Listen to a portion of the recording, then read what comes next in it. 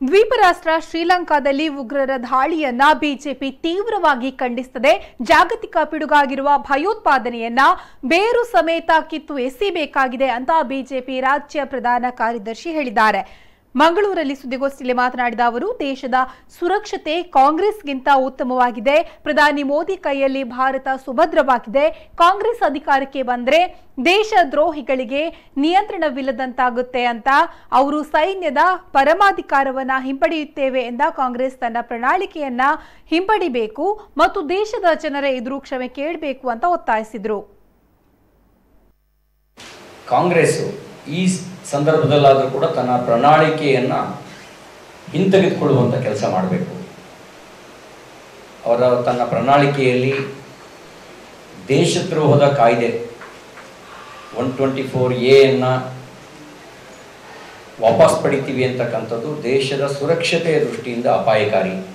ಉಗ್ರವಾದಿಗಳಿಗೆ ನೆರವಾಗುವಂಥ ಈ ರೀತಿಯ ಹೇಳಿಕೆಯನ್ನು ದೇಶದ ಬಗ್ಗೆ ಕಾಳಜಿ ಇರುವ ಯಾವ ಪಕ್ಷವೂ ವ್ಯಕ್ತಪಡಿಸಬಾರ್ದು.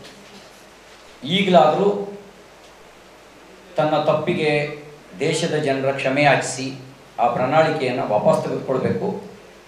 ದೇಶದ ಸುರಕ್ಷತೆಯ ಬಗ್ಗೆ ಯಾವುದಾದ್ರೂ ಕಾಳಜಿ ಕಾಂಗ್ರೆಸ್ಸಿಗೆ ಉಳಿದಿದ್ರೆ ಇಲ್ಲದೇ ಇದ್ದರೆ ಜನರೇ ಇಂಥ ಕಾಂಗ್ರೆಸ್ ಪ್ರಣಾಳಿಕೆಯನ್ನು ಪ್ರಕಟಪಡಿಸಿದ ಉಗ್ರವಾದಿಗಳಿಗೆ ನೆರವಾಗುವ ರೀತಿಯಲ್ಲಿ ವರ್ತಿಸ್ತಾ ಇರತಕ್ಕಂಥ, ತುಕುಡೆ ಗ್ಯಾಂಗ್ಗಳ ಬೆಳೆಸ್ತಕ್ಕಂಥ ಮನೋಭಾವನೆಯನ್ನು ಹೊಂದಿರತಕ್ಕಂಥ ಕಾಂಗ್ರೆಸ್ಸನ್ನು ತಿರಸ್ಕರಿಸಬೇಕು ಅಂತ ನಾನು ಒತ್ತಾಯಿಸ್ತೇನೆ.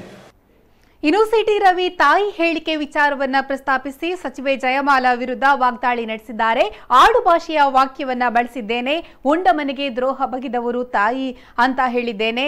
ಜಯಮಾಲಾ ನನ್ನ ನಾಲಿಕೆಯನ್ನ ಚಪ್ಪಲಿಗೆ ಹೋಲಿಸಿದ್ದಾರೆ. ಪ್ರತಿದಿನ ಹೊಲಸು ಮಾತನಾಡೋ ಕಾಂಗ್ರೆಸ್ ನಾಯಕರ ನಾಲಿಕೆ ಇನ್ನೇನು? ಸಿಎಂ ಇಬ್ರಾಹಿಂ ನಾಲಿಕೆಯನ್ನ ಯಾವುದಕ್ಕೆ ಹೋಲಿಸ್ತೀರಿ? ಗಟಾರದ ಹಂದಿಗೆ ಹೋಲಿಸ್ತೀರಾ?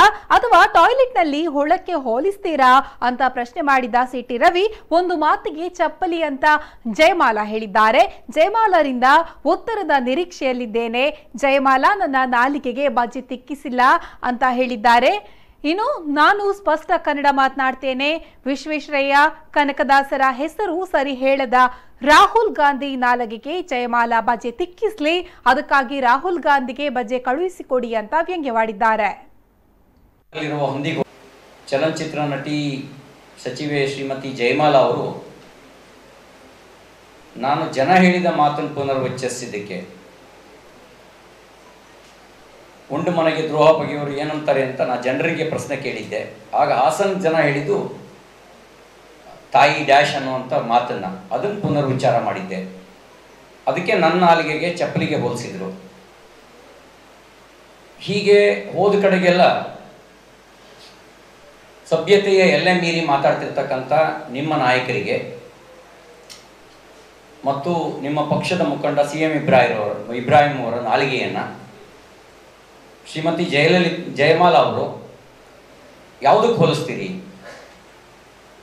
ಗಟಾರದಲ್ಲಿರುವ ಹಂದಿಗೆ ಹೋಲಿಸ್ತೀರೋ?